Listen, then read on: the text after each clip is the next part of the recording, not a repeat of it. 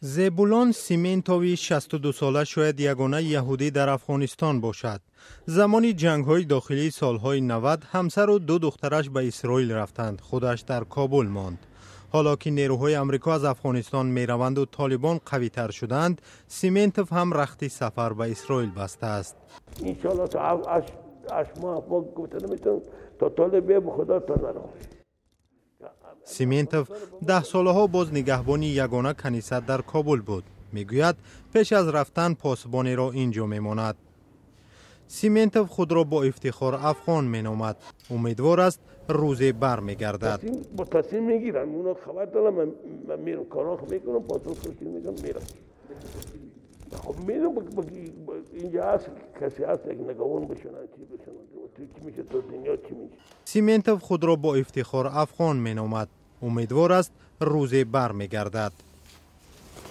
وطن از خاک هم از چی هست ما یک تولد چیدیم افغان هستیم دو دفعه اسکری کردم هم فایده مهرات دوره داود خان هم مسئولیت دوره کاروان نجیب زمانی در افغانستان هزاران یهودی زندگی می کردند اما همهشان به سبب جنگ یا به اسرائیل یا به کشورهای غربی رفتند.